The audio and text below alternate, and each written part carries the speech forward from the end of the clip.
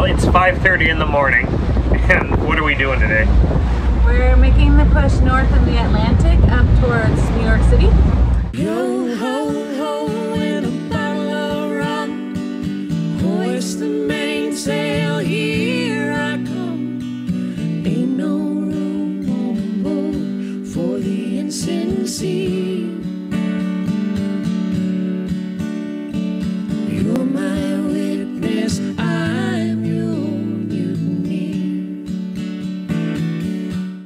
So we've been waiting for a weather window a little bit, making our way as far as Cape May, New Jersey, and uh, now we're faced with what should be probably a three-day trip, uh, but we have a one-day weather window, maybe one and a half. And uh, One and a quarter. So uh, yesterday the waves were supposed to be three feet, and uh, we had a couple buddy boats that went out in it, and they were uh, shaken. They made it safely, but they were shaken. And Atlantic to Atlantic City, uh, which is step one of the the three hops.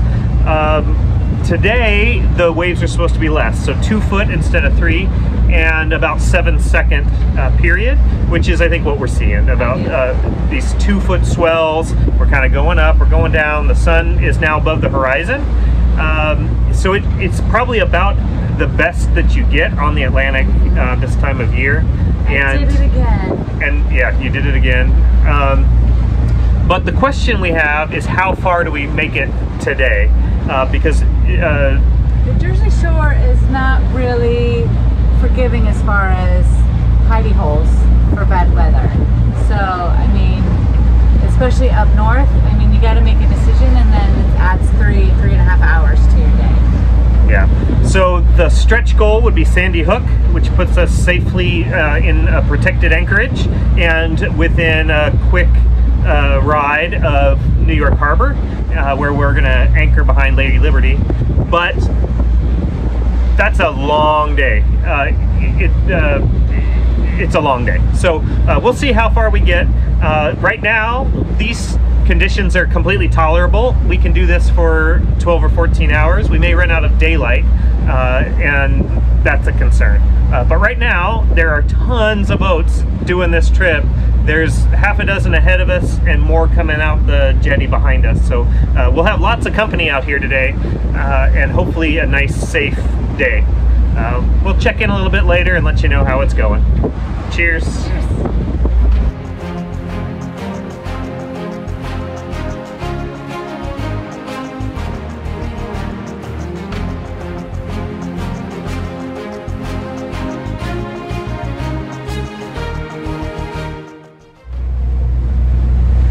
is 9:15, and uh, surprisingly, the seas have even laid down even more than when we left. So it was a little bit uh, rolly just leaving Cape May, uh, but we're here. That is Atlantic City uh, off our port side, and it is pretty smooth. Uh, the Atlantic has a different kind of character uh, than a lot of the waters that we have been through. These swells tend to be very periodic. Today it's every seven seconds, but they they're really big swells, and so it's just a little bit different of a thing to deal with than we've seen even in the Bahamas and other uh, big blue water. So Yeah, even though it's calm, um, Seth is feeling yucky for really the first time on this trip. yeah, I don't usually get seasick at all. Part of it was we got such an early start You that didn't I didn't want to eat breakfast, and so it was just coffee in my belly. So feeling better now. It's uh, 9:15 in the morning, and uh, we'll probably have some more loopers join us from Atlantic City that have slept in that are heading uh, north to New York as well. The the most unexpected thing so far is that we're at Atlantic City and we're still seeing dolphins. Yeah, we just saw dolphins uh, right out here, and that's pretty incredible. So uh, it'll be sad when we see our last dolphin as we turn Probably into today. fresh water. It'll probably be today. Uh, all right, cheers. Cheers.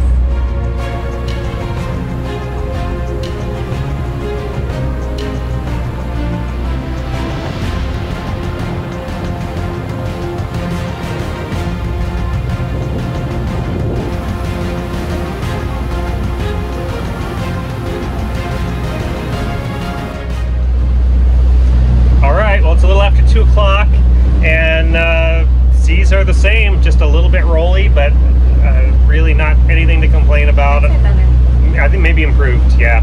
And the sun has come out. It, we have a little bit of marine haze on the water, but it's uh, pretty clear. It's a perfect temperature. Perfect temperature, beautiful day. Uh, almost everybody's going faster than us, so Everybody, not almost everybody. Somebody's uh, well some, some some of the early mornings are starting to arrive in uh, New York City. Uh, we are on track to at least make Sandy Hook, maybe even uh, into New York Harbor to uh, Liberty Landing behind the Statue of Liberty. So uh, stay tuned. We'll see how that goes.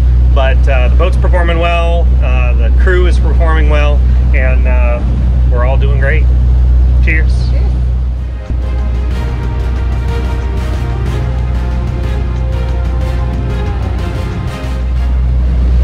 Well, it's four o'clock. Uh, Madeline has had a shift at the helm here.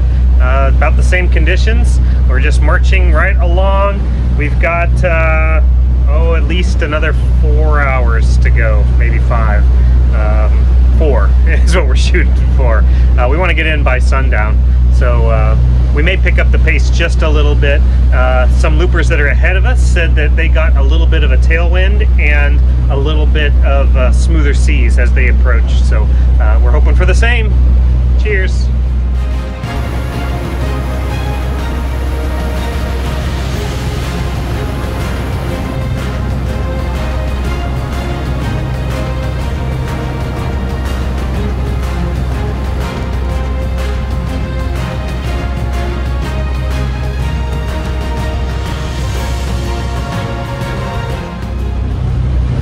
Six o'clock. Uh, Mason's on shift. Uh, we see the New York skyline forming ahead of us, uh, but we also see some dark clouds forming uh, off to our port side. So uh, we got about an hour and 45 minutes left until we get to our anchorage. Uh, we just passed the tip of Sandy Hook here, uh, which means we have made our stretch goal, and actually we're going to go a little bit further because we don't like the look of the storm for uh, an early morning departure to get into New York Harbor. And so we are going to scoot across the harbor and anchor behind the Statue of Liberty tonight. Cheers.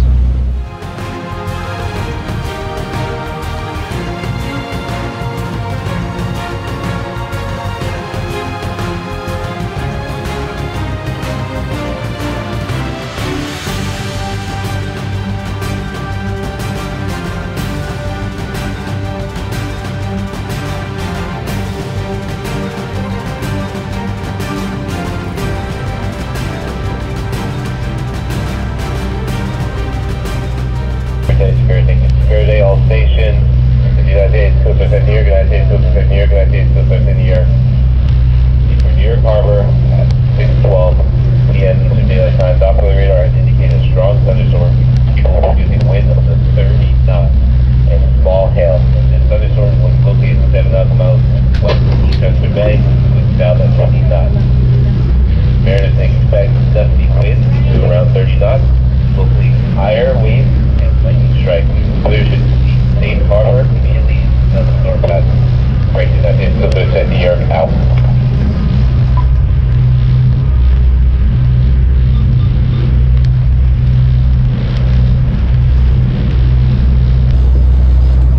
So the Coast Guard and uh, alerted us to this thunderstorm being uh, quite a severe weather event. Uh, over 30 knot winds, uh, lightning strikes, and uh, hail. So we are still about an hour out from our anchorage, and we would be scheduled to anchor basically right in the middle of it or just after it passes over us. So we're caught in the dilemma of do we speed up to get there earlier or do we slow down, take the storm uh, underway, and then anchor after it has rolled through? There's no uh, closer safe anchorage than the one we had uh, picked out there next to the Statue of Liberty. So this next hour is going to be uh, a bit exciting uh, for the crew of Witness, but uh, we're ready for it.